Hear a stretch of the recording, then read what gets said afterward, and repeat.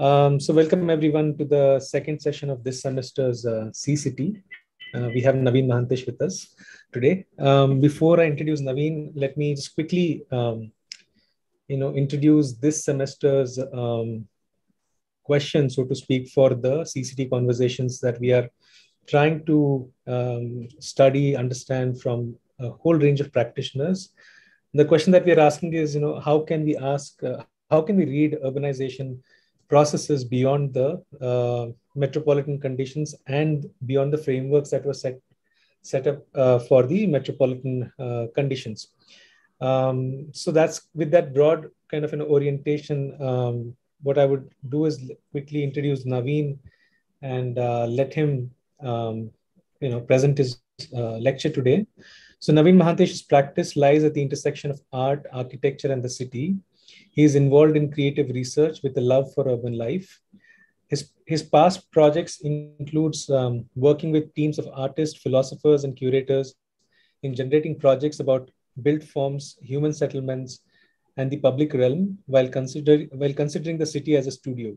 His projects provide alternative uh, perspectives for the banal routines, take inspiration from urban myths, and engage with ecologies that the city thrives upon. Naveen is the principal architect of NMAD Studio, a design firm based in Bangalore.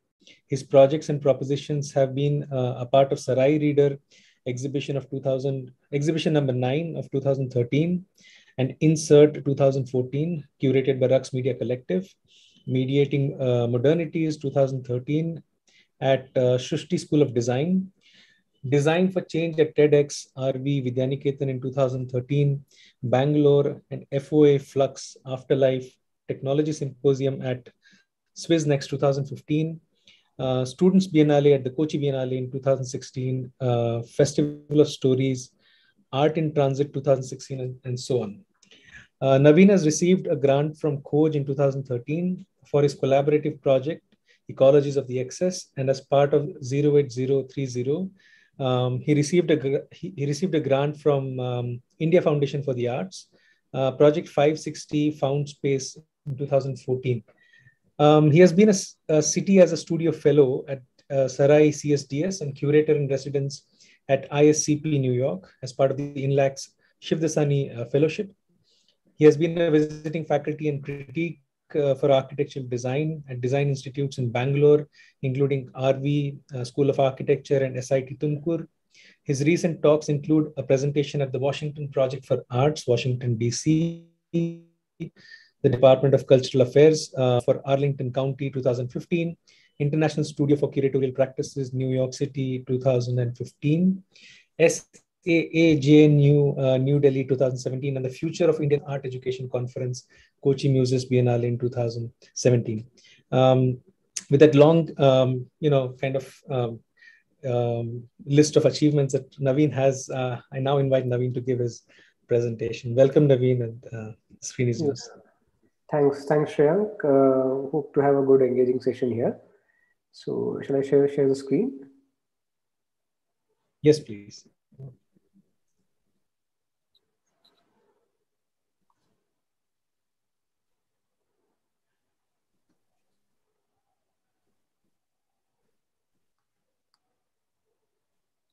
Yeah, is it visible?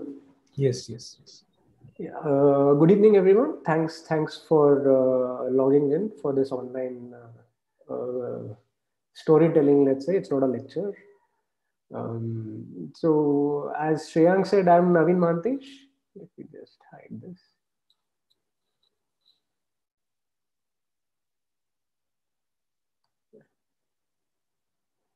as Shreyank said, I'm Naveen Mahantesh, architect, urban designer, curator. Uh, we have a firm called Naveen Mahantesh Architecture and Design. It's based in Bangalore. And today's talk is going to be about um, the, the, the, process, the, the, the thought process behind arriving at any answer for this kind of a wondering. Like, could be something? How do we kind of arrive at an answer for this? how do we how do we start wondering about what something could be or would be or should be right like shayad kya or shayad kyun right So this is where I'll I'll try and uh, understand. I will will try and discuss how how to formulate a research methodology around this question. Right? Now the whole idea of could be uh, can be uh, understood through these four processes, right? So one is uh, through observation of any any uh, phenomena, we, we, we arrive at a pattern recognition and there is hypothesis, then there's prediction and there's validation once that prediction comes true. Now, this is in short the scientific process that we are talking about, but how does it apply, right? So to give you a small example of this, this is uh, uh, this is more this flower. This is an orchid in in Madagascar. Its uh, Latin name is Angraecum sesquipedale, something like that. Now, this was a flower uh, in Madagascar which was observed by Charles Darwin in 1862. Now, immediately once he saw it, he saw the stem of uh, that flower was very long. You can see that green thing coming out.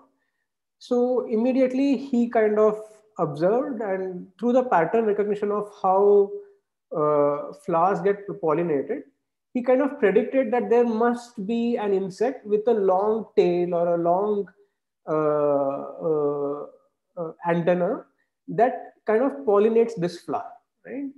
This, this was an observation in 1862 and they never found that insect, right? Until after 40 years after he died, this sort of, uh, this insect called uh, morganii was detected. I mean, it was uh, captured as a visual, right? So uh, this is where that whole idea of prediction and hypotheses and uh, validation, the, that whole process of uh, observation comes to a fruition, right?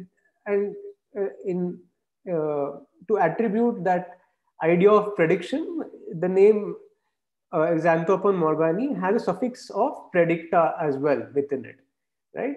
So it, it all started with this, and there could be a moth with a long tail or a long uh, uh, antenna. And it started from there, and somewhere that prediction came true. This is, again, another example to look at this whole process and how, how this process kind of comes through. Uh, in 1705, Edmund Halley uh, documented a synopsis of the astronomy of comets, where he uh, uh, he applied Newton's laws of physics uh, from Principia Mathematica, and he he got the synopsis of astronomy of comets, where he very specifically documented which year which comet was uh, uh, entered the Earth's sky at what point in the sky, etc., etc., etc. And through that, he very specifically predicted that the next comet is going to come in 1758, right? He was never alive to uh, kind of witness his prediction come through. but that validation of a certain principle being applied over observations and it get validated over uh, uh, once it's uh, fulfilled is something that's that's very interesting for myself because it, it it pushes you to the edge of that field right like this kind of uh, exploration in either biology or in uh, in physics it's they are like literally at the cutting edge of their fields while they're doing this. So that is where we try to now discuss like can we apply this to cultural theory? Can we look at this kind of pattern recognition hypothesis prediction validation to architecture history uh, built environment architecture and built environments mostly through uh, the history that they accumulate or through the history that they accrue. So this is where the whole idea of could be urbanism comes, where we're trying to look at, okay, we are here right now, where we are, where are we heading? What could be the urbanism of tomorrow or what could be the direction that urbanism is heading? Now, this becomes our premise. First, we need to kind of understand or give ourselves a definition of what is urbanism. Now, I've, been teaching urban design for uh, around six years now for masters, and till today, kind of, I've never been able to explain anybody like what is urban design. Like if somebody has urban design, I'm like, I don't know. But urbanism is something that we can define. Know, urbanism, you know, this is a small definition that I came up with for myself to start thinking on uh, some things. So urbanism is man-made, but its evolution is organic. This is a very interesting thing for me because whenever we say something's man-made, we we we uh, attribute it to some sort of a precision to it, some mechanical quantity to uh, quality to it, where its uh, its working is extremely precise. But urbanism is something where its evolution is extremely organic, right? So this talks about how human settlements is an organism in itself. It produces its own culture, it inhabits its own precedent. The greatest achievement of urbanism is its ability to solve problems of human habitation and settlement. Now, uh, this is where uh, uh, I feel the urbanism's greatest aspiration is to inhabit an environment totally man-made, right? So it's like if the base instinct uh, within biology is survival of the fittest, the base instinct under which urbanism thrives or, uh, or it exists or uh, propagates is the greatest aspiration is to inhabit an environment totally man-made. Now, this urbanism is a constant process of making, inhabiting, and archiving old environments. Now, one of the uh, outputs of urbanism is an urban form, right? Uh, or in Hindi, you can call it a Shahri Vyavastha or Shahri Sthiti. Now, how do we define this? We can define it as something that encourages human settlement ki logon ki basti. Now, this could range from like a small pond or water body around which settlements tend to uh, happen. It could be the foothills. It could be uh, many, many things uh, that kind of accrues human settlements around it. So an urban form is also someone, something that it develops its own local economy, right? Like for instance, there's a whole uh, settlement that happens around a landfill and there is a whole local economy that is built around the landfill itself. So in that way, landfill becomes an urban form? It incubates its own actors and agency uh, that produce new cultural experiences. So each of these urban forms has its own uh, set of people and places that's very specific to the urban form. Probably uh, lake would have a fishing settlement around it a landfill would have a scavenger settlement around it. So each comes with its own actors and agencies. Now, this is a broad framework upon which we kind of build uh, what is uh, what could be the urbanism that we are heading towards. And in this uh, uh presentation, we discuss few uh, ideas around which this new urbanism or the next urbanism could be centered around. Now, what are these uh, ideas that kind of provide momentum for urbanism? Is these five uh, uh, tendencies of urbanism that kind of that kind of uh, becomes an urban form or an urban moment in the future. Uh, the first part is called ruralization. It's uh, I'll come to the detail of it. Second is smart as a new local. Third is an instant city Fourth is urban villages. Fifth is landfills or the idea of excess. And sixth is the idea of drift city. Right? So these are the six ideas around which uh, there could be urbanism in the future. Right?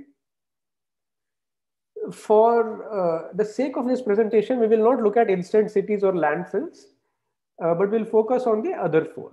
Right? Now we look at the idea of uh, uh, ruralization. Like if urbanization is uh, a force, that ruralization can be seen as a parallel force. Where we look at do androids worship electric cows, right? So cow worship is uh, an extremely traditional ritual thing. Even in future, when there when there are probably um, androids working, making our jobs for us, will they be worshipping electric cows? Now, to explain more about this ruralization or the idea of ruralization, I'll take you through a few instances through which we can understand this term, right? Now, this is the neighborhood that I grew in. There's a small park. There was one temple around it. And my house was uh, on the back at the right. There used to be cows that were tied and cows were milked and we used to get those cows. This is where I was around three or four years old there was a big peepal tree. There is still a big peepal tree at the back. And that park that you see was a pure uh, place of recreation. We would play there from morning to evening, and that's it. There is no history to this place. There is no, uh, it's, it's just a park and a neighborhood and a temple, right? Now, over time, uh, four more temples developed around this place, and also a temple came under the peepal tree again, uh, it came because there was space. There is no uh, uh, archaeology or anything to that place. Now, uh, because there are these four temples and there are specific idols of uh, certain goddesses that are uh, put up there, a local village festival happens every year during Shivratri. Now, the festival rituals are of a village festival, but there is no village as such. But now this has become a site of such rituals, right? So somewhere in the archaeology of uh, this place, from nothing, it, has gotten a, a ritualized local uh, character to it, which was never there, right? So this kind of starts defining how that place is used in today's context. For, for instance, uh, girls or ladies never used to enter the park in the night, but now since it's a temple, it's become a more open space. Everybody goes there at any point of time without fear. Uh, the noise levels has increased, but the idea is that from a pure playground space, it's now become a space of ritual. Now, this is a tendency, right? So, this is what happens in that park now the, now we see such uh, instances across the world right? So in italy many of uh, the villages have emptied out because everybody has moved out.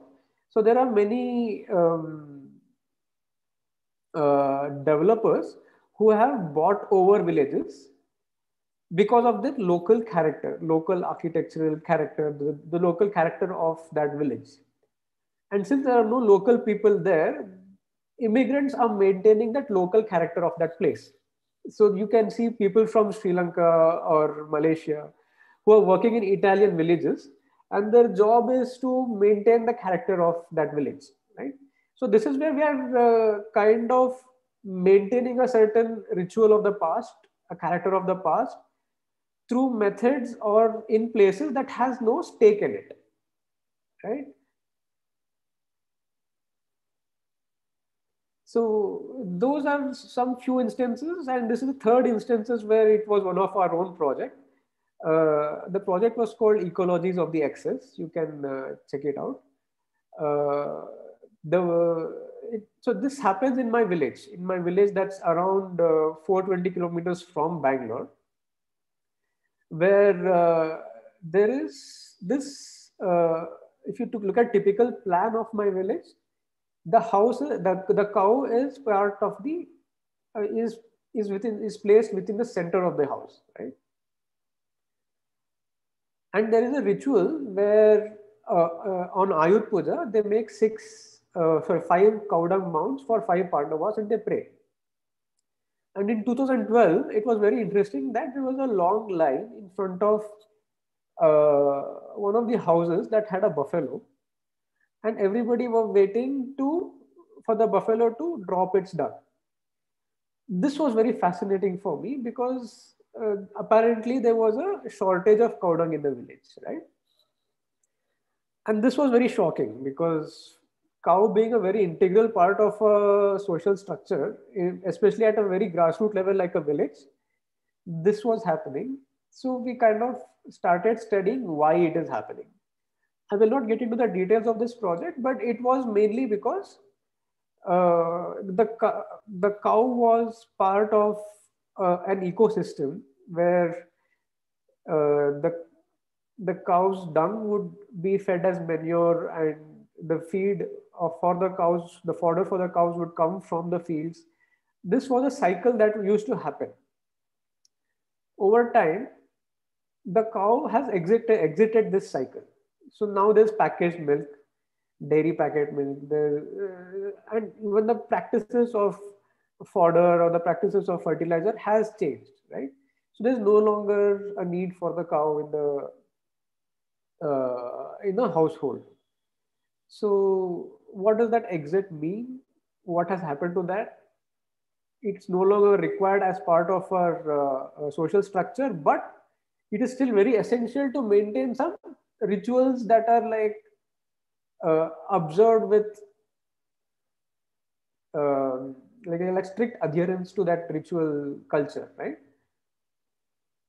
So this this was an interesting project where it, it gave us a few diagrams on how to uh, uh, uh predict or how to make drawings or modules of uh, of these ecologies, ecosystems, and where they are heading, which also translated into some diagrams for a strategy for clean Bangalore by Ankit Bhargav, who, who kind of, it was his project. But the diagram language came from there. But the whole uh, idea of the cow is no longer required in the house, but uh, it is very much required for the rituals, was an interesting uh, uh situation to look at what is happening in the social fabric, right? This is where we kind of brainstormed and back then we predicted like how packaged milk is produced there will be packaged cow dung right? And four years later and even now you can see cow dung's uh, cow dung is being packaged and sold on amazon.com so again the rituals are being observed with uh, by practices that has no stake in the ritual itself right? So without cow you can have cow dung in your house. Now, this tendency leads to like these are very small um, situations that we are talking about, but this tendency, if it's pushed, if it's pushed to policy making, if it is pushed to uh, decisions uh, uh, regarding infrastructure development, then we start having projects like these, right? Like Amravati plan in uh, Andhra is now Vastu compliant right? So the director who created an imaginary city in Bahubali is going to design uh, uh, the capital complex for Amravati. Now the biggest, one of the biggest infrastructure uh, projects that are happening in India is the road network to connect the Char Dham, right? So uh, somewhere the impetus comes from this idea of ruralization. The term was coined by Srajna Kaikini, one of our initial collaborators and this tendency has a very local implication. It has an implication of on how you consume things and also an implication on how policy is made within our country right? So that's that's where this is uh, a very interesting term uh, a very interesting term to uh, be aware of right? So you can check out more on that project on that link ecologies of the excess.wordpress.com. And this whole idea of ritualized localism is going to be there in our country. It's very inherent in our, in, in our way of life. And how it's going to drive urban form or how it's going to drive architecture and built environment around us is going to be uh, interesting to see, right? So from this, where we are getting cow dung on the internet, we go to the next kind of tendency called smart as the new look, right? Now, this is a very interesting image. Uh, uh, uh, can we do uh, audience interaction or should I just go ahead with the uh, presentation? Yeah, it's, it's fine if you want to. Yeah, yeah, yeah. Yeah, can can somebody tell me what this image might be? But the, just there's one problem. I think they'll have to only do it in chat. uh, format. Okay. No problem. So because uh, Shreyank, I'll ask yeah. you, what do you think this image is about? Um, it looks like some one of those uh, pujas that you no not puja but the Sankranti temple you do know that yeah, yeah, yeah breaking yeah. of the tree yeah for uh, could be that I don't know. No, this is very interesting for me because uh, there's a small village near Udaipur. Uh, you have to give your thumbprint to get your ration. Now, this is an image where in that village, the internet is only available on top of that tree. So the villagers literally have to walk a kilometer and a half, climb a tree, give their thumbprint, come back, and then they get the ration. So this becomes a very interesting thing where uh, this dependency on internet uh, is now a thing, right? So more and more of our spaces are getting defined by where the internet is, right? Like even in the airport, you would rather sit on a bench that has good Wi-Fi than an airport than than a bench that has no uh, no internet, right? So what what does this smart mean? Right? Like everybody who has a who has been around a three year old would agree that a mobile phone with an internet is the best babysitter you can get, right? So what does this smart mean? Right? What does what does it mean? We have everything smart around us: smart TV, smart phone, smart water bottles, smart uh, cars, smart, every smart cities. What does this smart even mean? So to understand this idea of smart as a new local, we'll, we'll try and understand what this term smart means. Now, if you've seen this film Spectre, it, it's it's I mean, I love that film for many reasons. But one of the things that happens in this uh, film is they inject uh, James Bond with something, and suddenly his blood becomes smart blood. What does that mean, right? Like, which means he can be tracked wherever he is. His blood has a presence, right? So this whole idea of smart meaning presence is something that is interesting interesting for us. Uh, for instance, if your watch is smart, then it has its own presence. It is it is documenting you at all points of time, right?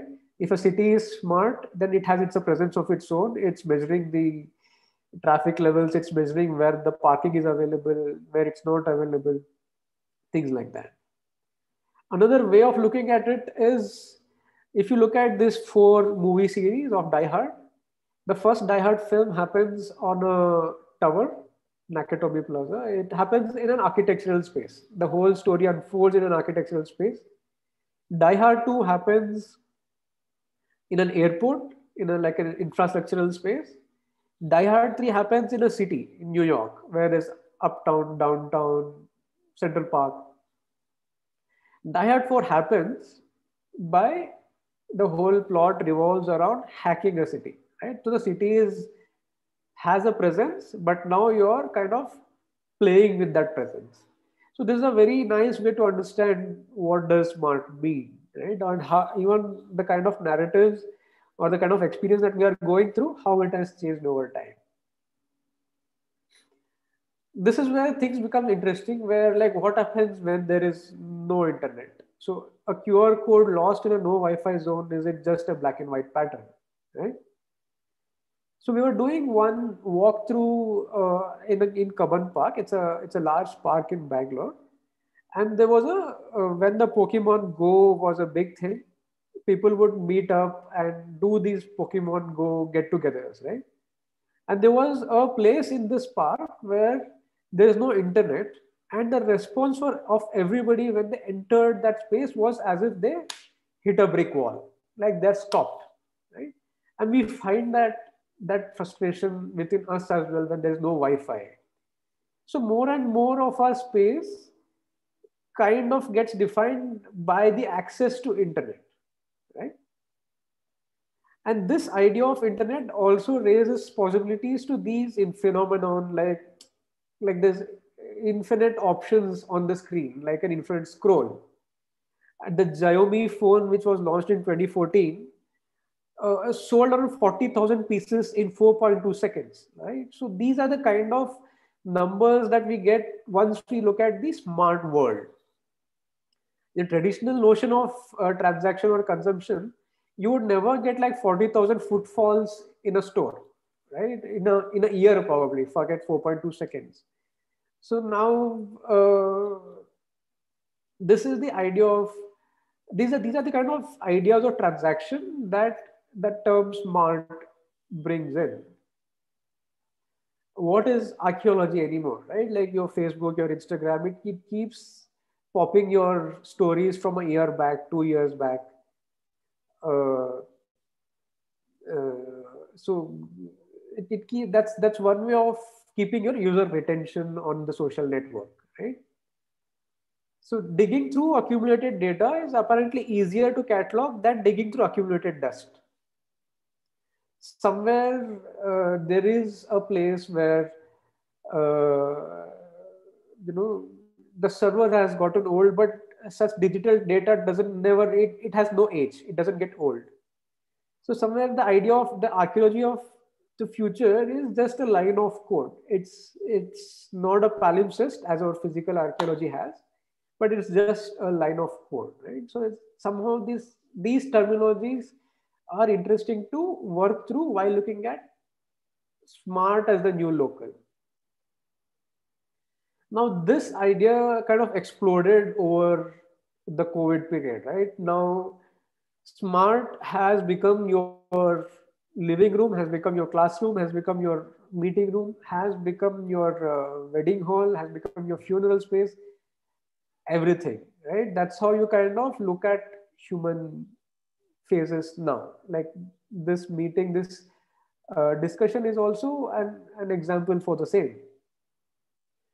This also has risen into uh, has has given out uh, an interesting way of experiencing cities right? Like uh, like the the transition of how you experience fiction has come a long way from, let's say, literature, where you used to read about fantastical stories, but you had to imagine it. Then there were comic books. Then there were films.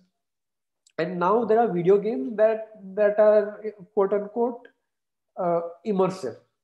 Now you are allowed to roam, not just roam, but you can fly through the cities through these uh, windows very interesting happen, thing happened where few of the gamers of Final Fantasy, where now it's an on, online community that is happening through these spaces, where one of their community member died during COVID, they couldn't meet, so they organized a funeral in the digital space. So this is an image of that where all of the avatars are wearing black clothes and they're going to a funeral. So uh, this this talks more about how uh, digital spaces are a place for imagined urbanism for the future right? Like the whole metaverse and uh, avatars it's it's it's it's like how ruralization was one impetus to look at uh, or one one trigger or one uh, incentive to think through about urban forms. Similarly, the smart, uh, the idea of smart as a new local is another uh, digital urban form that is being formed on a huge scale, on a, on a scale that is uh, beyond any imagination. Now the third part is some somehow my my favorite, where one of the favorites, where the urban villages within the cities, uh, it, these these are very interesting places that I that I really like. Now, what are what are urban villages? For which we need to understand this term morphology. I'll briefly go through it. Like if you look at uh, any tree and you look up, they have its own pattern of growth, and from that pattern, you can uh, kind of identify what kind of tree it is, right? Now this is a morphology of that tree. Before I go ahead, uh, this is a image, this is a painting by uh, Gustave Caillebotte. a rainy day in uh, Paris. Uh, I'll come back to this, but I just want you to know the multiple perspectives in this painting, right? Now, how does that happen? Because of this morphology of the city, which was again done by Haussmannisation and carved through. But the city has its pattern through which you get this kind of an urbanism, right? So somewhere the morphology of the city and the urbanization or the urban character or the uh, urban life in it is defined.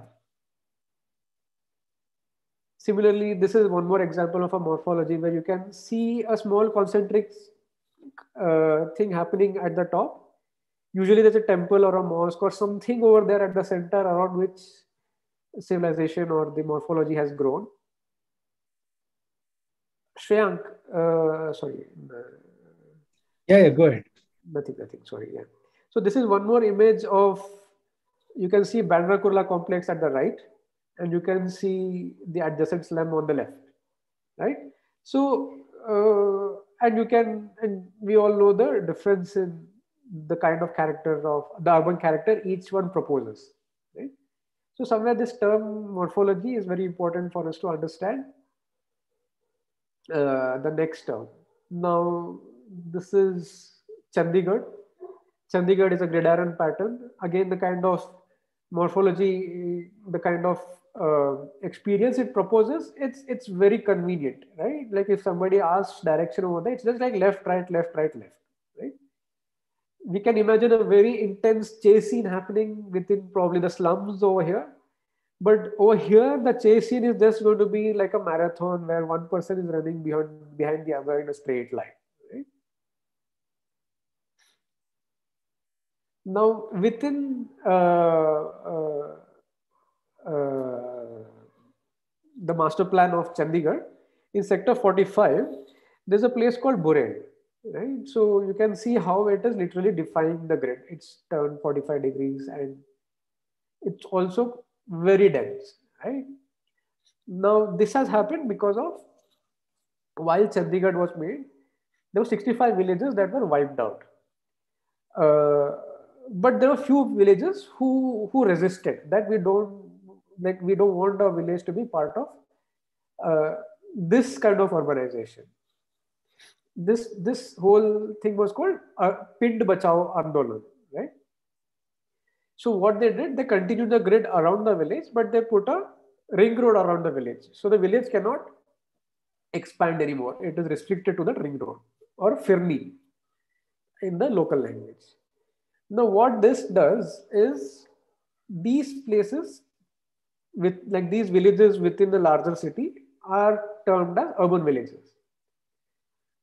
Now, these places become places of low rent for any immigrant who comes to the city. Right? So anybody who's working in the city would come back to this place because the rent is affordable.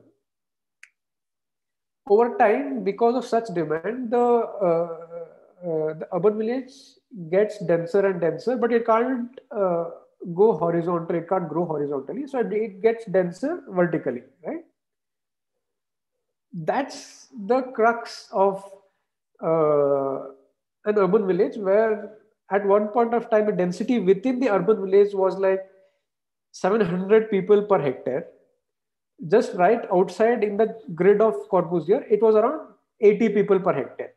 So that's the kind of disparity in uh, uh density is what we uh, uh, recognize, right?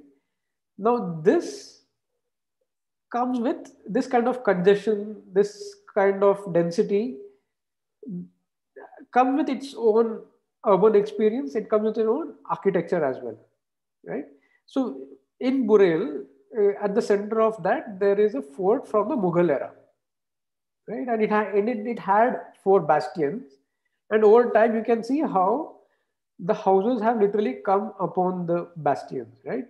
You can now hardly find any remains of the bastion, but the architecture that has come or replaced it has kind of uh, followed the same geometry or trying to do the same uh, uh, uh, same kind of opening, same kind of inhabitation over there, Now these, uh, this idea of congestion comes with a different kind of culture in itself, right? So uh, like 700 people per hectare, it means they have to live with each other in close proximity. Now, this is one more example of uh, Delhi at the top, where uh, Khirki village is there, and around, with, around which there is Malviya Nagar and other uh, uh, designed neighborhoods. On the right, you can see uh, probably what the left image was. The right image is uh, a satellite image of Gurgaon. Now, within Gurgaon, the master plan of Gurgaon, this is one of the villages. And if you check the master plan of Gurgaon, you can see the same strategy of a ring road has been proposed in around all of these urban villages. So these are going to uh, be the places of future congestion, right? Now, why are we interested in this, right? and what is the culture that this kind of an urban village uh, produces? Now, this is an example of a case study that we took. This is in uh, Bangalore. Now, on the left that you see as cause is the electronic city. All your big MNCs, Infosys, IBM, you name it, it is there. On the right, it's the effect, right? So this is called Konappana Agrahara. It's a very interesting place. You can see the congestion over there. People who work on the left stay on the right, right? And this whole neighborhood, this whole urban village is now to let. It's now to let. The main urban, uh, the main architecture over there are PGs. Typical architecture, eight floors, all buildings are violated, all the buildings have gone edge to edge. And the density has increased uh, I think around 40 fold in the last eight years, right? So now this is very interesting for us because the morphology of the place hasn't changed. Now this is a very interesting contrasting uh, phenomenon to ruralization where we are looking at alien people maintaining local rituals. Here we are looking at uh, migrants inhabiting a local morphology and kind of redefining the local culture. Right? So because of the PGs, because of uh, the MNCs next to it, there's a huge influx of uh, 20 to 30, 20 to 32, 35 year olds into this place, right? And the spending capacity of that space has increased a lot. Now that defines its own culture, right? Now, this is still very interesting for us because it's still in a place of transition. Like it's been around eight years since these people have come in. It will be very interesting to see where they go. During COVID, it was very interesting because everybody went back home. But now it's going to be very interesting how they kind of uh, how how this place uh, goes ahead. But this this response of an urban village to the city around it, it's a very typical, uh, typical response. But the culture it produces where it's, it's comes with the people who are, who are also migrants to the city is also a very interesting, is also a very interesting uh, moment. Now, based on uh, uh these studies, because there were many, many, many, many interesting uh, negotiations that were happening in that culture of congestion that I was talking about, there were many interesting negotiations that were happening uh, with the authorities, with the local people, with the migrants who have come in, with new builders who are putting in money here because it's quick money for them uh, the kind of investment that were coming were interesting. So uh, one of my students called Zeb, uh, we worked on a game, on a game of this place where it was mostly like Monopoly, but uh, with corruption alone? So that whole morphology of that place was translated into uh, uh, a board game with different stakeholders like an office, PG, bungalow, uh, local people, right? Uh, and the government, like the tax department is there. There's no sewage over there. Then there's a temple there. There it has its own history over there. Uh, giving all of this, this is probably we thought one way of uh, experiencing that culture of that place is through is to go through a game that kind of takes you through what it means to live over there, what it means to pay rent over there, what it means to uh, have property over there, what it means to pay bribe over there, right?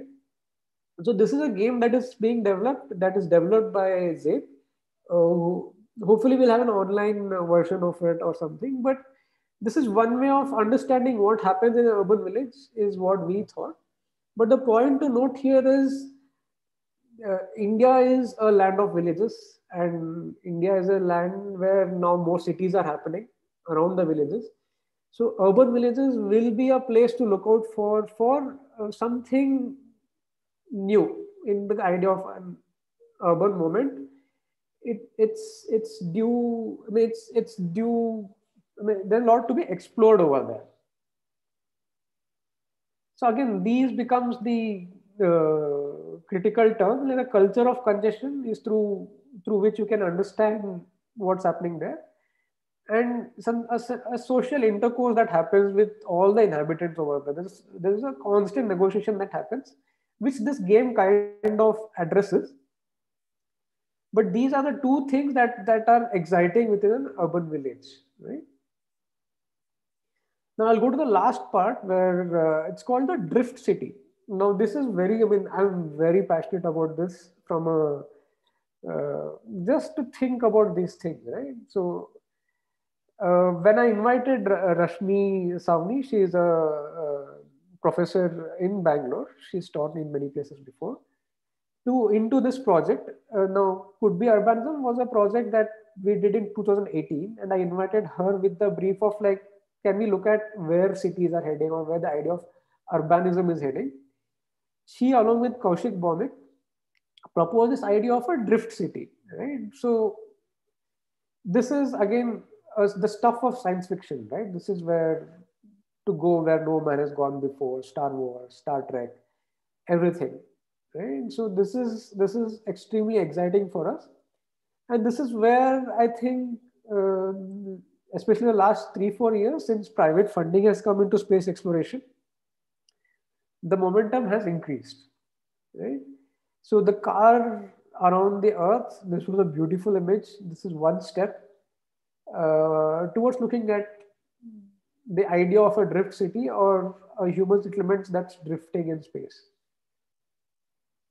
Again, this whole idea of an international space station is probably where the cutting edge of even architecture is there.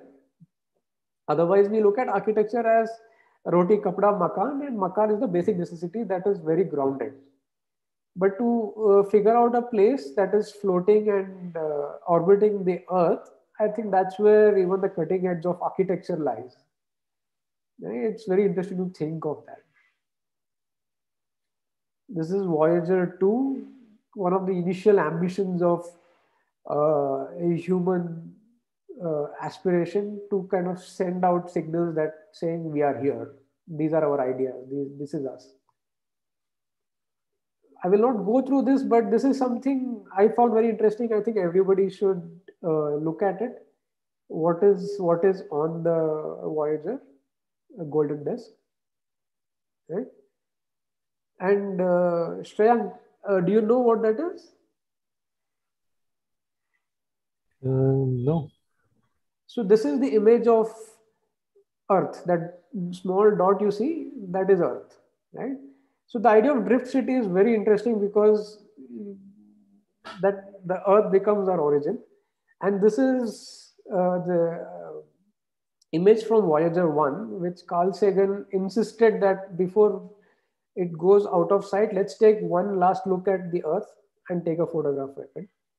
So this is a very exciting field for me to think space exploration and architecture, where it is heading. And uh, uh, I'll, I'll end my presentation with a small video.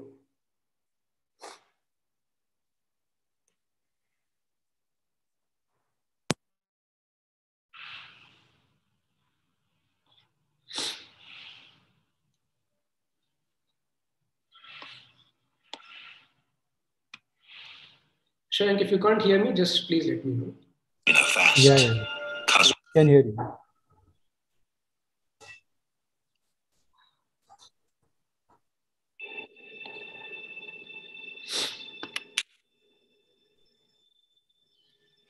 here. That's home. That's us. On it, everyone you love, everyone you know, everyone you ever heard of, every human being who ever was, lived out their lives. The aggregate of our joy and suffering, thousands of confident religions, ideologies, and economic doctrines, every hunter and forager, every hero and coward, every creator and destroyer of civilization, every king and peasant, every young couple in love, every mother and father, hopeful child, inventor and explorer, every teacher of morals, every corrupt politician, every superstar, every supreme leader, every saint and sinner in the history of our species lived there on a mote of dust suspended in a sunbeam.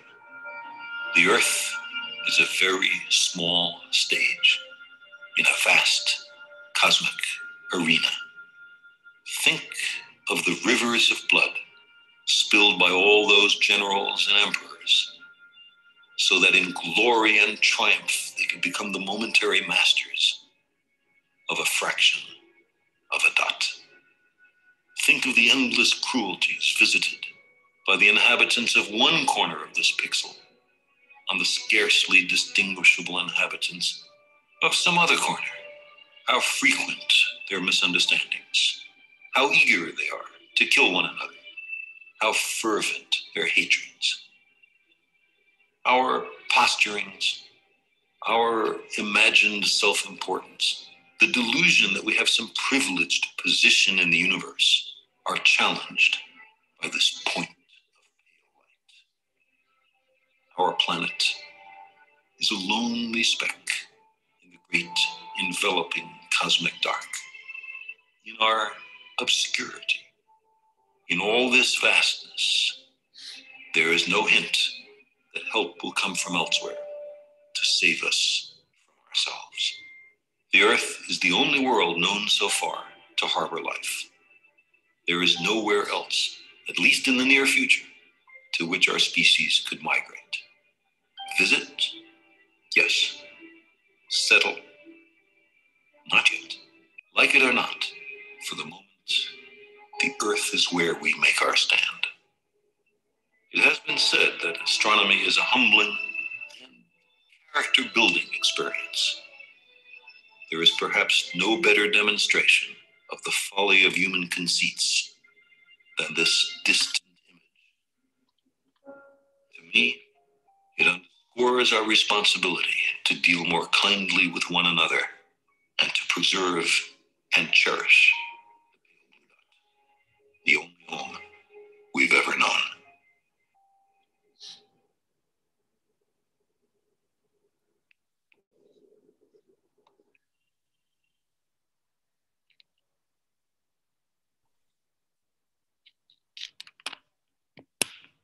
Thanks, thanks so much, Naveen, uh, for the presentation.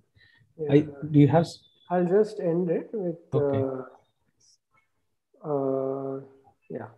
So this could be urbanism is a booklet. You can uh, find it at that QR code. Uh, I'll also send the link to Shreyank, so you, you can access it. It's it's got a lot of write-ups and much more in detail there. You can uh, check it out. But uh, yeah, this was in 2018, so the the discourse has come a lot, lot ahead from there. And anybody who wants to reach out for me can do it at this email ID and uh, like, share, and subscribe. yeah. Thanks, thanks so much, Naveen. Um, that's kind of nicely paced and uh, a lot of interesting points that came out from the presentation. Um, I mean, for me, uh, personally, kind of, you know, introduced an inter interesting range of ideas that um, that you have tried to bring forth, not only with yourself, but like what the nice thing is that you've always tried to kind of work and gather, let's say, um, fellows who are interested in, in this question of the future of urbanism, so to speak. Um, so I actually, you know, uh, what is interesting to note for me was that in all cases, there was an interesting uh, moment of um, strange resistance that that emerges from various conditions, you know, which which I found was very interesting. That because a lot of the time, um, urbanization is often read as this kind of a you know a process that is seamless, a process that is endless, or a process that is uh, you know, uh, uh, sort of a wave that washes over things.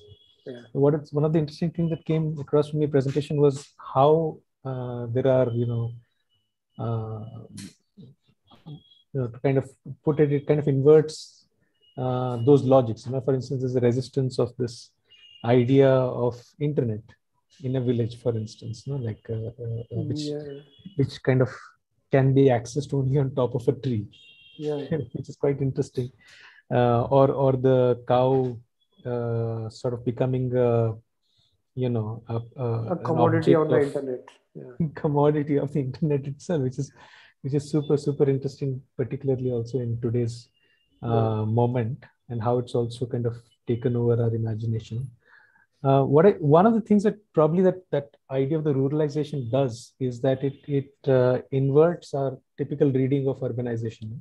Yeah. In fact, one way to read urbanization, according to what you're saying, is that what's actually happening is the ruralization of the urban space in many many many ways, as much as there is an urbanization of the rural space. Because I mean, one way of to in, to read a lot of urban space, including the big cities, is is how uh, practices from which we typically understand or which in general understanding is kind of held as practices that belong to only some sort of an idyllic rural space yeah. which is you know concerned with uh, strange like you said obscure uh, religious practices yeah. mytho- uh, mythological you know um, but uh, that exists as part of our way of thought especially in our country exactly, Yeah. so it's not just there's no i mean the scale is very vast yes like even if you like uh, in architecture if you look at just placing a commode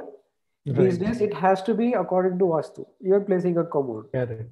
From Correct. that to how cities are imagined in the country there is right. this tendency to kind of hold on to a very mystical uh, past that somehow yes. makes sense for today's way of life. So yeah, I was actually also thinking of uh, one of the uh, the papers or essays that uh, Solomon Benjamin had written on the urbanization of Mangalore, where let's say the this this belief that the land was of Mangalore was cursed by the local uh, Naga demons, you know, like so.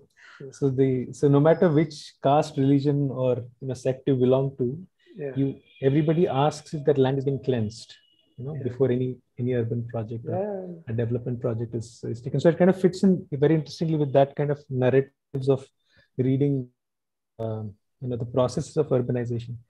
Um, so uh, yeah, yeah, I mean, uh, that's something that's something really kind of interestingly stuck with me that um, how there are different processes which constantly keep resisting this generalized imagination of urbanization.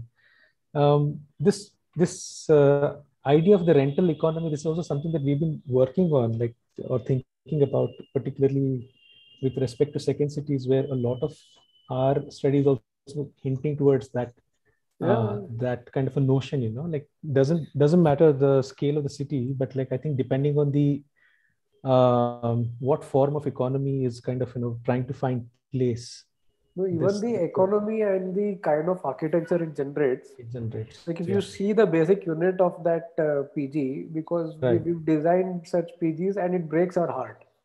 Correct. Yeah, so it's it's literally smaller than a jail cell. Yes, yes. But if somebody is getting such a space for five thousand per month, right. in that particular area, then that person is happy. He Absolutely, sleep yeah. on a bunk bed. So Yeah. so uh, it's very interesting how these things are uh, related to aspiration and not comfort that architecture can provide. Correct. Correct. So In fact, I remember Bangalore. Bangalore is full of this. No, like, is like. Uh, I mean, I've lived in many of these places Yeah, yeah, when yeah. I was in Bangalore. Shifted at least two to three times. Like uh, places with no light, no ventilation, yeah, just like bunk, you know, bunk beds after bunk beds and bunk beds and uh, it has to adhere to vastu. Vastu. True. It's very. It's, yeah, it's quite very nice, quite interesting. nice. Yeah. and and uh, I think as a methodology, what was interesting is that you, uh, you know, kind of not not just opened up, let's say, a way of reading this reading the urbanization, but also how do you speculate uh, Yeah. from those conditions to let's say maybe not so much like a far-flung and impossible future, but just like a like a future Yeah. that might be that could be you know that the, that's a You nice know, I think that's what that that's that's what's very interesting for me. Like even when I take up any projects with any student, like documentation is something that students are very happy with. But Right. we kind of push them to look at a proposition as well, like what can this go, where can this go, like right so that research and pro- like documentation and proposition is part of research. That's what I kind of Correct. look at. Correct. Without that proposition part, the research, like then you have no understanding of the research. right So you need to kind of extrapolate it. So Yeah. yeah, yeah.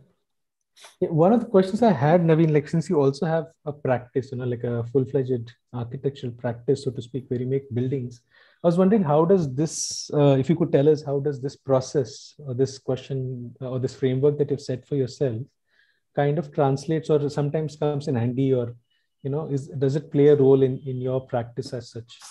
And uh, the, the following question that I have for you is, let's say, um, given this kind of framework and this interest in the future of urbanization, do from your practice side, do you see any tendencies that are, let's say, that don't necessarily come in this presentation? Yeah. Uh, I would like to say yes, but I kind of refrain from it because Right. uh, in, in my practice, any kind of prediction would mean somebody is going to put money on it. Correct. So, uh, I mean, whenever we do, let's say, a feasibility report, and we can see that some land around an SEZ is better, but the urban village or the area next to that SEZ is also important. Right. But we can't predict, you know, the growth Yeah. of that place. It's a speculation. Mhm. It is interesting from an academic point of view, but I can give a very good feasibility for how an SEZ would perform. Right. But uh, how an urban village would perform, it's very speculative. Correct. So it, it's interesting. It's for me, it's a, it's just a very constant interest to just keep documenting the changes and Yeah. understanding why why things are happening. Right. Right. And for myself, it's like, okay, what if this does that kind of a thing. Mhm. So I mean, it was a very exciting thing for us when we saw cow dung on Amazon. It's like हमने तो बोला था ये आएगा type, right? So it, it was very exciting 2012, 2014, whenever it was. Right. Right. Right. So when that kind of uh, uh, thing happens, uh, landfills are very interesting. I didn't get into that part, but uh, a landfill has a typical 40-year cycle. Correct. So you can actually map that next 40 years and then Hmm, propose hmm. something for that after 40 years what it should become. Correct. Correct. So uh, this is something that we are doing some research on, but uh, uh, yeah, landfills are very interesting. Yeah. Yeah. Yeah. So I went through your uh, that uh, could be urbanisms document. It's quite Yeah. quite interesting. It has this the story of the landfill in uh. Gurgaon, if I'm not wrong. Gazipur, yeah. Gaz, yeah, Gazipur. Yeah, I mean the, the the following the question that I the second question that I had no, was basically to ask maybe you know like this is purely let's say the kind of exercise that you do uh, interestingly also with a lot of peers. Um, I was wondering if you had any uh, reflections on what directions you see from your practice with respect to this situations of you know varying kinds of urbanizing uh, you know conditions and how does architecture sort of respond to um, these things? And maybe from your projects have you uh, something that if it's if it's not there it's okay. Just like something no, that no, i mean i wish it does. Yeah. But uh, somewhere the practice is very again as i said it doesn't give you scope to like like it's like two things like in both places people are giving you money. Right. Funds but in, in such research yeah. they are giving you money to do whatever you want. Like right right. research. But there i'm liable ki no i have to give them back something that is of equal value. Correct, correct. So the kind of approach in both the kind of responsibilities on both uh, uh, right, right. domains is different. But uh, somewhere architecture gets grounded very hard in the profession. Like it's roti kapda makan ka makan se aage nahi jayega. You know that that design is very very very hardcore. Correct. and it doesn't let you be at the cutting edge but the more right. sensitive you are at the ground it helps. Correct, correct. so it will it will make you go back or go deep into the ground or into the social fabric. Yeah. It will not uh, ask you to push push the limits there. Right. so, but right. with research you can you can imagine. Like Yeah. like that ruralization thing. Yeah. in, in that book there is a small short story on uh, the idea of a ritual city. Yes. Where a city is made purely to uh, you know exercise rituals of a parallel Yes. city Yeah, so you can yeah. just book a puja and it will happen Hmm. there Mhm, mhm.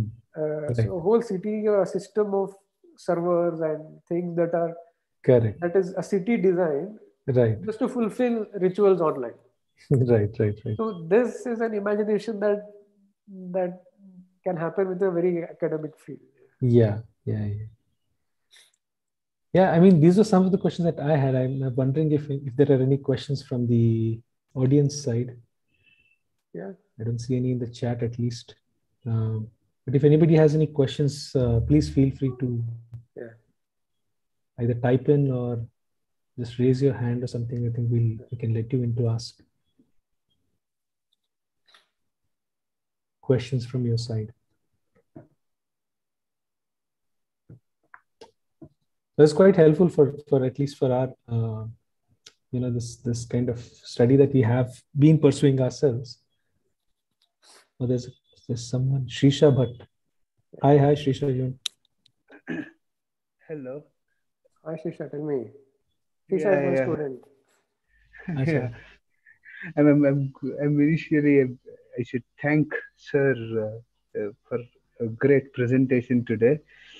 But uh, the only question that I had uh, for the housing scenario uh, is out of curiosity that I wanted to ask is out of all the uh, housing scenarios that you showed here, sir, is it uh, only uh, because of the kind of IT that we see here on the outskirts, or is it also because of the year of liberalization that we had after 1991?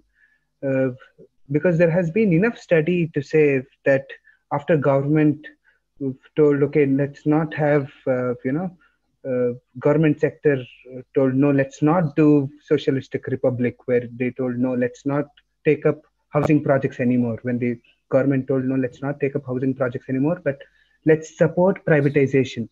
And then when privatization became, uh, you know, a predominant thing, that's when I think I, I don't know. I'm I'm just thinking aloud. So I thought let's take Yeah, up your views it's a combination of uh, both, Shisha. because Uh, here if if, if uh, uh, uh, because there's still some uh, uh, really decent parts of the bangalore mean, I'm, I'm sure you're much uh, better in the kind of studies that you've done for the city but i'm thinking that there are still some really really interesting parts of the bangalore that haven't been vulnerable for such projects yet so i don't know i mean so is it only because of No, I it or is No, it of is IT. It, I think it's in a lifetime of a city, or I don't know if there's any end to that lifetime of a city. We are going through a, uh, that phase where uh, apartments are a hot commodity. So even even though there are excess units in Bangalore, unsold units in Bangalore, people are investing in it. Okay. Uh, Okay. because somewhere like let's say the economics of that is such that Okay. like if you make 300 units and you, if you Okay. sell 150 units you you've recovered your base amount so the real estate is at that place Okay. and Okay. the main thing is because the buying power of 20 to 35 has increased and in Okay. bangalore it has been mainly because of the uh, corporates for sure Okay. Okay. So, but the next housing boom is in the tier 2 cities outskirts of tier 2 cities that is for sure and this pradhan mantri awas yojana which uh, is targeting that oh the demand for it is uh, it's such an unexplored field i mean we are working on a couple of those projects but the Okay. demand we get when we uh, send out the applications it's huge huge huge uh, boom that's going to happen in housing for sure I mean the the PMAY schemes, is it? yeah yeah yeah, yeah, yeah, yes. yeah. it's uh, Okay. the, the the places that it needs to target or it is targeting around the tier 2 cities especially the ews and the low income uh, category uh, that requirement for housing for that category is huge Right. Okay. And uh, are the, uh, are these investments uh, just to add on to Shisha's questions, or or these interests that uh, you're suggesting for PMAY coming from that section, or are people seeing it as an investment? You know. investment private developers are getting into it Okay. Okay. Right. right. yeah, yeah because we i mean again this would be an urban form within a within a place which has no Hmm, hmm. uh, such cluster to have like 500 units plonked Correct. around it it, it, it, it will become an urban form Right. Right. and one of the places outside of uh, tumkur here the initial survey we made the requirement was for 3000 houses Right. of ews category alone Correct. Uh, and the pilot project is around 450 houses Correct. so uh, to get them together I, this is going housing will be an urban form for sure Right. Right. Right. That's interesting that you say. Yeah. I mean, So- any. Yeah, Shisha, go ahead. Sorry. No, no, sorry, sorry. Uh, I, I, I think I'm intruding. No, no, go ahead, please. I was intruding your. I, uh, uh, I, I had another question. Uh, the second part of my question was uh, largely uh, in uh, metropolitan cities, at least uh, where we have metro largely to bring in some sort of a system to cities. Don't we think affordability affordability could be looked at uh, apart from housing? Let's say uh, uh, we were discussing at one of our labs very recently where when we told affordable housing is not just about housing housing as such but what if let's say uh, it's not just about house but let's say if uh, xyz person is uh, probably put in the outskirts of the city but if there is last mile connectivity uh, connectivity through the metro but there is still affordability through metro uh, if if it is, if it is there is if, if there is per capita uh, sort of you know uh, some some sort of a saving that he's doing from his salary at the end of the month so then i think that's more affordability is what is the kind of research that we uh, sort of tried looking at so then what are your views on that sir so then This is very Would- would confusing that for work? even uh, me, Srisha, because I know people who's, who are traveling from Tumkur to Bangalore every day because they have a train. And I know people who've moved out of Bangalore to Mysore because in Mysore you get a 4 BHK villa with a pool for 1 CR. And since it's work from home, I know a lot of people who moved there.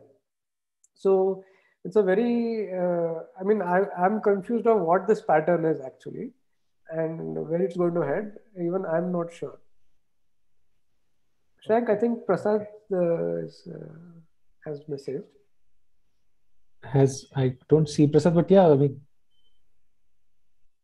I think he's here. Yeah. Yeah, thanks. Uh, uh, thanks, Naveen. Very nice.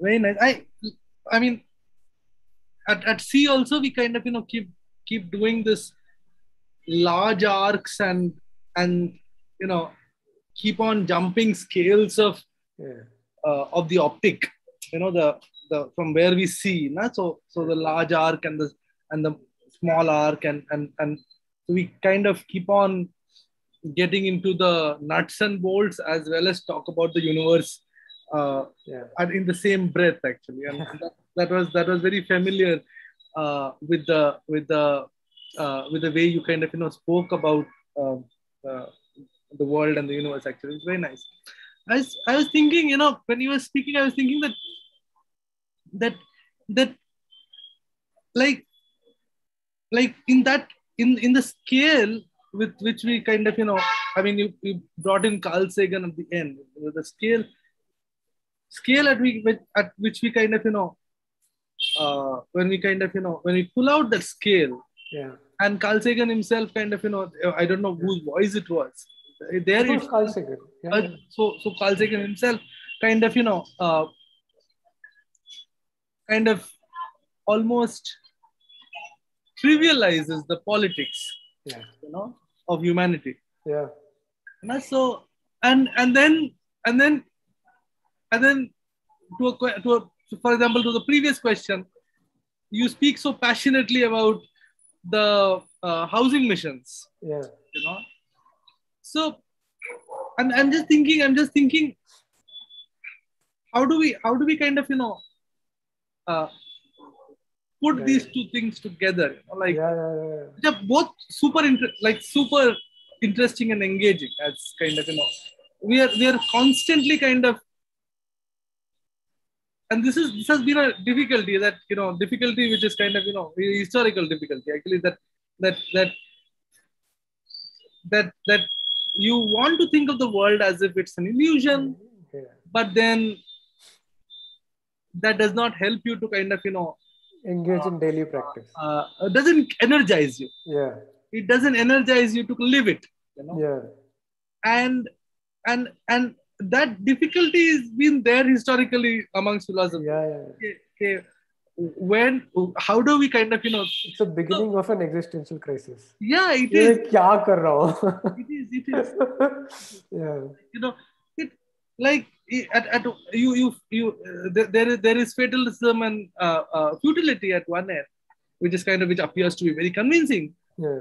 Uh, but at the other end there is you know every day and the politics and the yeah energy and and, and no even the idea of luxury and luxury everything I mean, it seems so frivolous at times. Like, why, why, why you need luxury time? yes But but at yeah, the same time that is the one which energizes you to kind of talk about the universe so it's like it's Yeah. like it's this constant juggling of scales yeah, uh, uh, that we kind of you know how do we how do you how do you kind of where do you rest you know where do you where do you kind I'm, I'm literally in an existential crisis now, Prasad. Last year and a half or so, I've entered like existential crisis कि मैं क्या कर रहा हूँ और क्यों कर रहा हूँ अब मैं कब तक करता रहूंगा why why okay now I'm doing this building like next what why till how long I'm literally going through this I'm enjoying what I'm doing no no doubts I'm very the, I'm sure. very passionate about design but there is a voice at the back of my head that says good you're enjoying but what next and till when that that is there. I'm i'm going through that right now. Yeah. Shreyank, you want to intervene here? Yeah, I mean, I was just thinking like the the I mean precisely yeah, the, the it's very when you um, think of this you know absolute zoomed out view of the universe and look at the world as a speck and the 1960s moment was like probably like like for like a mass at least beyond the philosopher's you know uh, domain kind of really made that existential crisis very evident no? when you when we saw the this blue bubble from moon uh, and everybody suddenly started to realize that this is what we have kind of a thing uh, which which interesting uh, but but i was like thinking what happens i think uh, between that that the micro and that mega not even like not even uh, macro. It's like it's like you know the scaleless scale nothingness of the nothing no? This kind of that that dimension. What was interesting prasad in what you asked na? Like just an anecdote here. Um, so for instance Karl Marx wrote his uh, PhD on the idea of nature in two philosophy, two um, you know pre-Socrates philosophers, and he's talking the same thing there, like you know like how does two, these two philosophers are debating?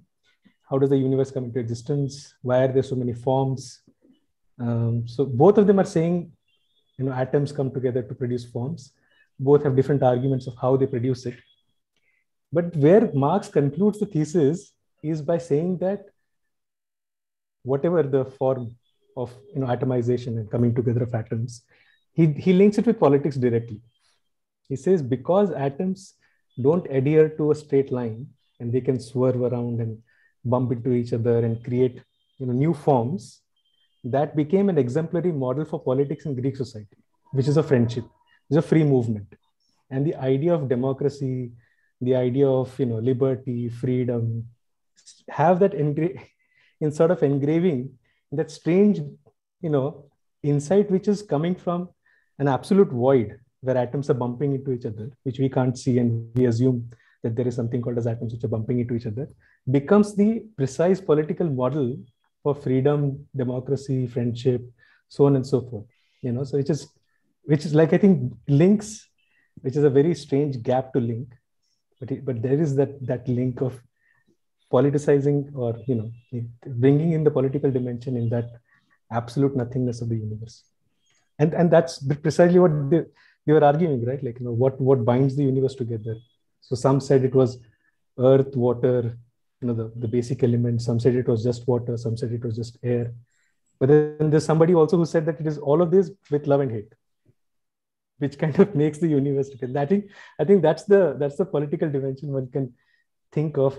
And just another point to that thing. I think what becomes interesting in this in this kind of thinking is that the political is always seen as at a meso level or at a micro level i think at a mega level like when you take a carl sagan view i think right because nothing really matters but i think the life gets lived at the meso and the micro level no like on an everyday that's what I, I i like two perspectives. Or I always yeah. like a, a, anthropologist perspective because they come from like single atom to now. Yeah. Their their perspective on anthropologists or even um, uh, geologists, the way they look at it is from like the Big Bang and uh, yeah, yeah, yeah. Uh, so they get that perspective. And I also like the perspective of uh, astronomers or amateur astronomers because they give you a cosmic perspective. I mean, it I mean, architecture becomes a small uh, topic within this, but just to have your range, it's always good. I mean, architecture can be our lens to talk about this thing, but to have that range is something I've always been fascinated with. Yeah. So, so I'm, I'm just thinking, you, you, you're, both absolutely right in the sense that that uh, uh, humanity's uh, limits of uh, uh, you know uh, politics kind of you know ends at the UN and the uh, and and and American president actually. So that's a kind of a no, it, that's it a kind of a being cynical. That, that's that's, that's that's where the limits of human human politics yeah. end actually. But I'm I'm just thinking you know with what you started no when when you when in your first images about the cow dung and Amazon and uh, it's interesting how the how uh, uh, and and and uh, that fascinating concept of uh, uh, ruralization. Actually, it was uh, I think many years ago. Naveen has been thinking of this since quite some time. This uh, the idea that that that everybody speaks of urbanization and there is this tremendous urbanization, uh, you know, uh, euphoria and excitement and also suspicion and doubt around the idea of urbanization but but at the same time there is a simultaneous ruralization of the world.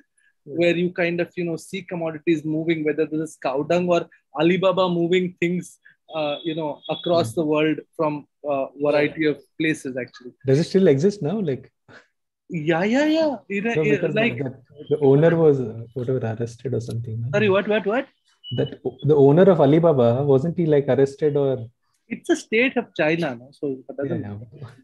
like, like the Taobao villages is basically uh, basically, you know, these are the villages which are kind of, you know, moving uh, village goods into uh, into into variety of cities. So this this so but in this there is a there is a there is a uh, uh, uh, you know the internet the new media new technology kind of there is that the the networking abilities and the and the and the uh, mobility uh, um, enhancing abilities of, of the internet, uh, new media, uh, appear to be kind of you know very very strong. And then there was there was also a very there was there was also a very uh, very big you know promise and excitement about them in the last decade until the last decade. But suddenly, you know, in your in your subsequent slides, and your critique of uh, uh, the smart city and the and and and and and and, and smartness and and and also uh, which which appears to be kind of you know parallelly kind of you know taking place. Like a like a uh, and and that that that is also kind of, kind of you know simultaneously happening. Like there is so so so so so there is this so so it's it's a it's a simultaneous yeah. you know things that that that happened in the presentation. Yeah, until a year back even i was thinking through the idea of smart as a lo- as a new local as something where uh, physical spaces how do they transform when there's internet there or internet not there? Like physical actual occupable spaces. Uh, right. like that tree being uh, pds uh, point of distribution sale. Until then, I was thinking about physical habitation uh, that internet facilitates. But since Corona happened and and that whole notion of local and smart changed for me in my head. Because the whole world went online. Uh, my whole work, everything went online. So that was a major shift. And when when I saw that slide of when I saw that article about uh, a funeral that was organized by the gamers for one of these fellow gamers in an online space, I thought, uh, okay, now it's it's the whole idea of community and uh, space and world is different. It's uh, and I think uh, six months later that that metaverse came from Facebook. Yeah. So the way we inhabit the world is now going to be a lot digital like there are algorithms in few games where they haven't even designed the world. The algorithm kind of designed the world as and when you go ahead. So depending on where you go, you can kind of right. the world unravels itself to you. So the idea of world building and it, it, it's become infinite. So the, the idea through the idea of uh, smart or the internet. Right.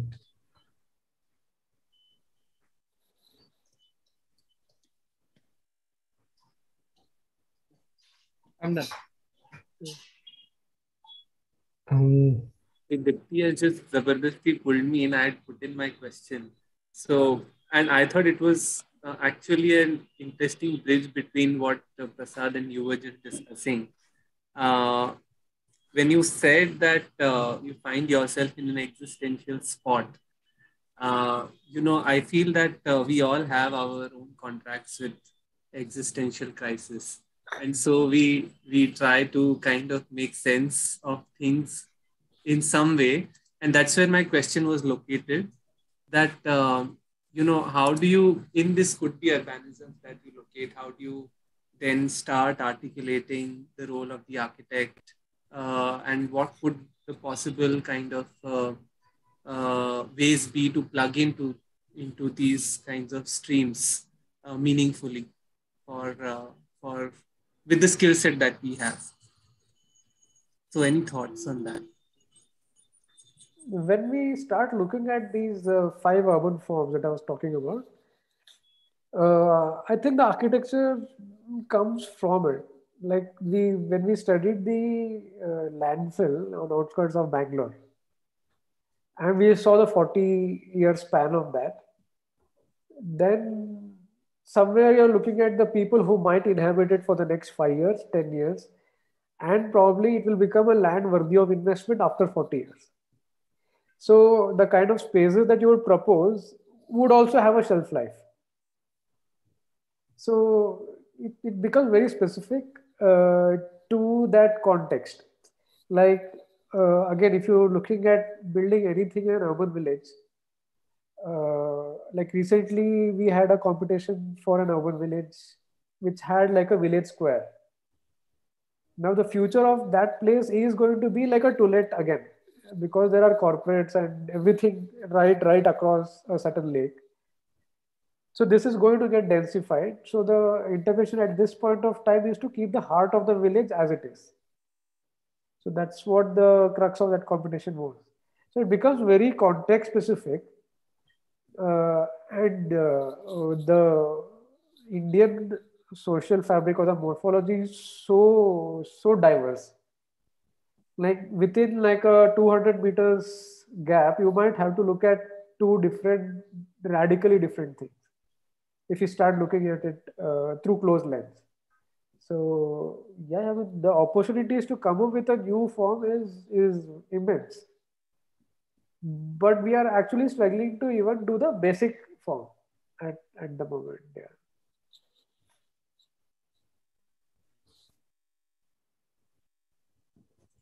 For some reason, I can't see any questions. So Anuj, if you can see the questions, uh, do you want to let me know if there are any other questions in the chat? There are none. There are none. Oh, Deepti, can you please read? I really can't see them. No, there are no questions. Oh, no, No questions. questions. Sorry, sorry. Okay. All right. So, uh, Naveen, thanks once again. Um, it was really exciting and uh, good to have you and, you know, to, see- to hear your thoughts uh, and hope to see many more such projects from your end Yeah. uh, in the near future, man. Thanks, thanks for joining and uh, see you soon. Yeah, Thanks, thanks for inviting me. Right. Thanks So- for SEA and thanks Shreyank for the discussion. Thank you, thank Yeah. you. So we'll have a next CCT event, uh, the third CCT event next week. Um, so everybody who's attending now, please do join again next week. And Naveen, please, you're more than welcome Sure, to join yeah. again. Yeah. So this will be an ongoing discussion. We have about uh, six to seven uh, presenters in total from different backgrounds. So we'll be speaking about this uh, idea of beyond metropolis. So the questions beyond metropolis. So please feel free to join the next discussions. Great. Thank you. Thanks, thanks. Yeah. Bye bye.